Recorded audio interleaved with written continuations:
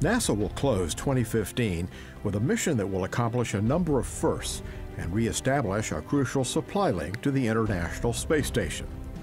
A Cygnus spacecraft, larger than those that have flown before, has been loaded with 7,383 pounds of materials the residents of the station will need to conduct important research and operate the orbiting laboratory.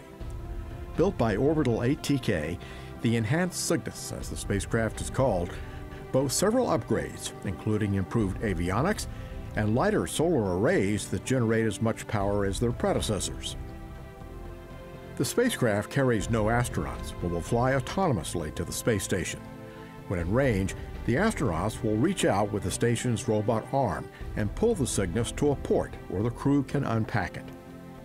Orbital ATK's Dan Tani, a former station astronaut, spoke recently about the value of cargo arrivals. Well, of course, it's a real morale boost. Uh, you know, uh, it's like uh, uh coming home from uh, the store and unpacking the trunk full of all, all, the stuff that you bought.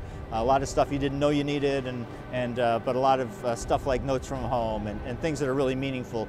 A United Launch Alliance Atlas V rocket will lift the Cygnus into orbit from Cape Canaveral Space Launch Complex 41.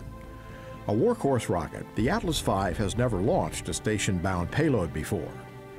For NASA, the mission represents a return to American cargo resupply missions that allow the station residents to perform science experiments in a unique environment off the Earth to benefit all those on the Earth.